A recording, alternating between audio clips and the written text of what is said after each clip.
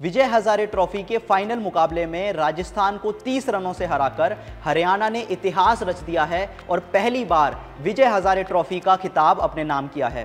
अब इस पूरे टूर्नामेंट की बात करें तो हरियाणा के लिए कई ऐसे स्टार्स उभर कर आए जिन्होंने इस पूरे टूर्नामेंट में ऑलराउंड परफॉर्मेंस दिया और अपनी टीम को ये टाइटल जिताने में एक अहम भूमिका निभाई।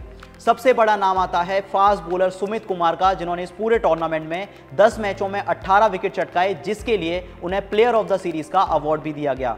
सिर्फ़ प्लेयर ऑफ़ द सीरीज़ ही नहीं, बल्कि फाइनल मुकाबले में भी सुमित कुमार ने तीन विकेट चटकाए, शानदार गेंदबाजी की और अपनी टीम को यह खिताब जिताने में एक बहुत महत्वपूर्ण भूमिका भी निभाई।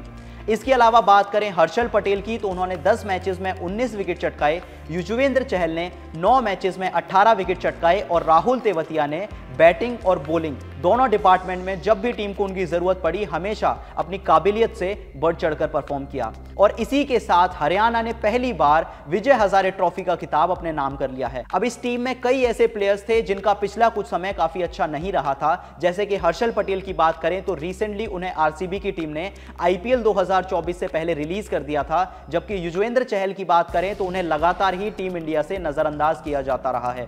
लेकिन जब ये खिलाड़ी हरियाणा के लिए विजय हजारे ट्रॉफी खेलने के लिए उतरे तो उन्होंने अपनी इस टीम के लिए 100 परसेंट दिया और ये साबित कर दिया कि वो हरियाणा के लिए ही नहीं, बल्कि अगर उन्हें टीम इंडिया में भी खेलने के मौके मिलेंगे तो वो टीम इंडिया के लिए भी अपना बेस्ट परफॉर्मेंस ज़रूर देंगे।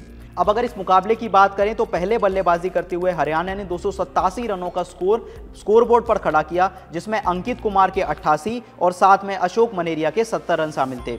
राजस्थान की बात करें तो अनिकेत चौधरी ने चार विकेट चटकाए, जिसके बाद राजस्थान की टीम सिर्फ़ दो सौ सत्तावन रनों पर ऑल आउट हो गई और हरियाणा के लिए स्टार परफॉर्मेंस रहे सुमित कुमार, जिन्होंने तीन विकेट चटकाए, हर्षल पटेल, जिन्होंने तीन विकेट चटकाए और राहुल तेवतिया, जिन्होंने दो विकेट चटकाए।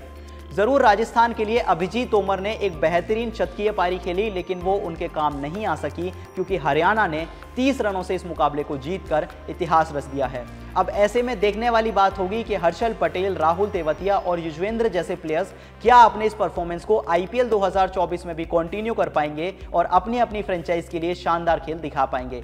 आपकी क्या राय है? हमें कॉमेंट करके बताएँ और ऐसी ही वीडियोज़ के लिए क्रिकेट ज्ञान को फॉलो करना बिल्कुल ना भूलें।